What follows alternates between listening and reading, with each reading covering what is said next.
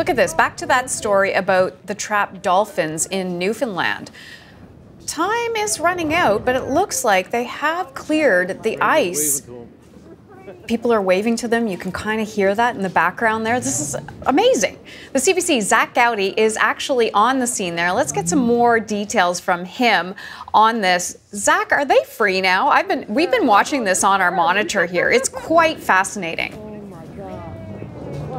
Yes, it's just incredible. They have just made their break for it. People here ch- clapping, cheering, horns are honking, the sirens of the fire department are blaring, and people cannot believe what they have just seen. These seven dolphins that have been trapped by sea ice here in Heart's Delight, Islington, since Saturday have just made a break for it. It looked grim this morning, but it was all thanks to some local ingenuity that this dramatic rescue just uh, wrapped up with a happy ending here. An unbelievable end of this story. Let's speak to the man who really helped make it happen. Uh, I'm going to bring in Stanley Legg, if he wouldn't mind.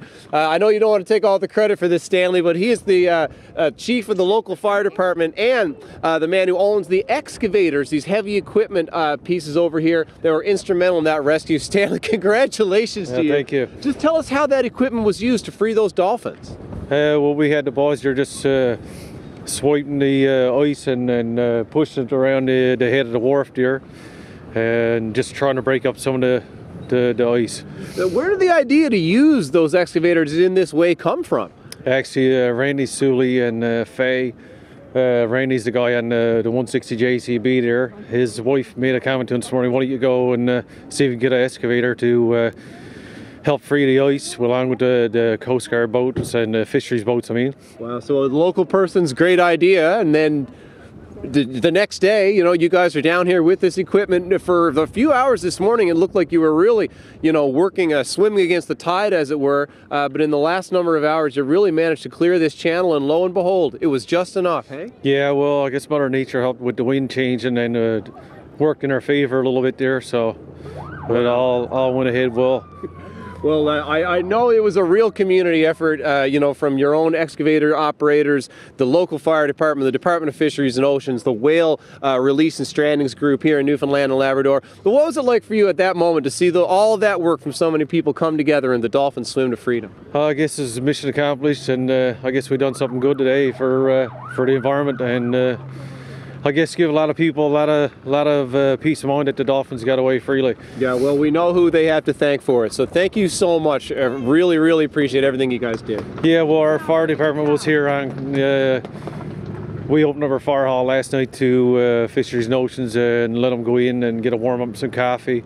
And our local fireettes uh, made sandwiches and coffee today to make sure everybody was uh, warm and fed. And uh, we had our ice water rescue crew here uh, just in case something went wrong. We had our guys here on standby to uh, to jump in if needed. It's wonderful. A real community effort. Thank you so much. Stan. Right on, thanks. Take Maybe I could ask this lady who's standing by here for a quick second. Yes, come over and tell me about how uh, amazing that was. You and your young fellow, if you don't mind.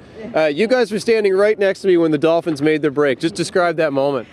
Oh my gosh, I can't. It, it, it's amazing. I was so worried that they weren't going to make it out, and when they got stuck right here, I thought they were going to. That was it for them. Soon it went. Soon the ice broke out. That was it. They were free. Everyone was jumping for joy, and God, I'm so happy that they're free and they're safe. How did it and now feel- they're going to go and get a feed. Well, how did it feel, young man, to see them swim away to freedom there? it it felt pretty good to say the least. it was his first Yeah. time seeing dolphins too. So Yeah. Really? yeah. yeah, I was a bit skeptical that they would uh, get out. Yeah, Oh, I mean, we all were. Of course, it looked very different here this Yeah. morning, but it just goes to show what a, a lot of people working together can accomplish. Yes, eh? it is. It and the community, every, stuff like this, every everybody always pulls together. Everybody's here for everybody, even the mammals. It's so wonderful. Can you Yeah. introduce yourselves really quick? uh, hi, I'm Sharon Moss, and this is my son Stephen. Yeah, Stephen Kale Bellis. Really nice to meet you both. You it was great to love. share that moment with you. Thank, you it so was much. So exciting. My heart Absolutely. was pounding so fast; it was unreal. I'm glad they're safe now. They're Indeed. good. Wonderful. Well, there you go, Thank you. folks. A, a story that has absolutely gripped people in this part of the province and across the country today ends with a happy ending, all thanks to, again, some local ingenuity and a lot of people who came together, working together uh, to make that moment happen. I hope you guys got to see it all. One of the most thrilling things I've ever got to cover. And um, again, we always appreciate when these stories have a happy ending. Zach Gowdy, we were so excited here. We are in the studio watching. And it's like, we need to go there now because it looks like they're being freed. And we could hear you actually say, I think they're done. Give us a bit of uh, history as to, you know, how long they had been there. And there was, at a point, a feeling that, oh, there's a problem here. We may actually have to take them out on stretchers, right? Oh, oh, absolutely. I mean, this situation has been ongoing since last Saturday, and you can see this little bit of sea ice that's left. Only a few days ago, that ice was stretching all the way out the harbor, and those dolphins had been driven in by the ice, penned in, uh, and they had nowhere else to go but this small area of open water you can see in front of me. Uh, the hope was that the wind at some point would turn around, push the ice back out to sea, and the dolphins would be freed. Instead, the opposite happened. The wind keeps blowing in the wrong direction, pushing the ice ever closer to shore and trapping those dolphins in an ever shrinking pool of, uh, of open water. Here this morning, they barely had an area the size of an average, you know, front or backyard, maybe 10 meters long by 30 meters across. That's a small space for seven full-size dolphins to swim around in. They've been stuck there since Saturday with no food. Uh, they're becoming increasingly agitated. So things here were looking quite desperate this morning. Um, again, it's not easy for people to step in and uh, solve the situation that nature created, but it was a case where standing by and doing nothing just wasn't an option. They were running out of time. So people here were trying uh, two different strategies to free those dolphins. One, as uh, Stanley Legg was just describing, and again, an idea that one of the excavator operators um, partners seemed to have last night. Just use your heavy equipment to move some of that ice. Great idea, because apparently it just worked. Uh, they were working for several hours, uh, seemingly, uh, you know, without making much headway. But when it started to happen, it happened quickly. Um, the wind also gave them a bit of an assist, and they cleared just enough space for the dolphins to get through. Hey, Zach, you know what? You keep mentioning that moment. I know you can't see it there, but we're going to play it back. See if you can hear it in the background there because it just happened moments ago and we want to play it for our viewers. Okay, here we go. Guys, they're they're making their break Please for it do, right yeah. now. I can't get in front of the camera. Okay, so you're gonna have to do this without me on the camera. I'm standing by with the guest. We'll jump in there. Stanley, I'm gonna get you to stand right there if you don't mind. Okay, right there. Actually, would, yeah, back over. You and I walk in when the time comes. You can hear Zach talking a little bit. Oh, there's some out. oh my God.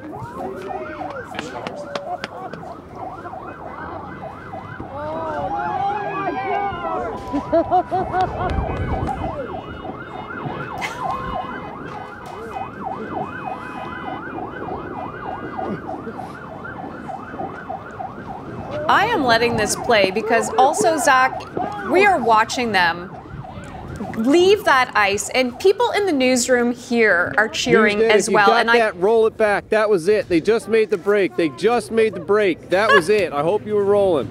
oh, and that was Zach Gowdy who's down there covering the story. That's you saying, "Oh my gosh, I hope they're rolling on this," and we were, and you can see it. Yeah, absolutely. It is. It is the moment of the day.